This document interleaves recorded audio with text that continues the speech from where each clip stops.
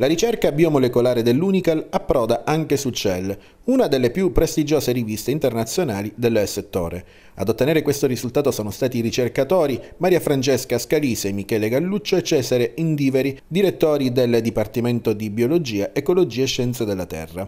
Frutto dell'integrazione fra genetica, biochimica, biologia molecolare e bioinformatica, la ricerca svolta in collaborazione con gruppi di tutto il mondo coordinati dalla professoressa Gaia Novarino dell'Institute of Science and Technology di Vienna rappresenta un grande passo in avanti nel complesso scenario dei disturbi dello spettro autistico comunemente noti come autismo. Nei laboratori dell'Unical sono stati rivelati difetti molecolari causati da due mutazioni scoperte dalla professoressa Novarino che alterano l'apporto di alcuni aminoacidi al cervello con conseguente manifestazione dell'SD. Tale risultato apre la strada a nuovi studi che in futuro non lontano potrebbero migliorare le terapie per i pazienti affetti da disturbi dello spettro autistico.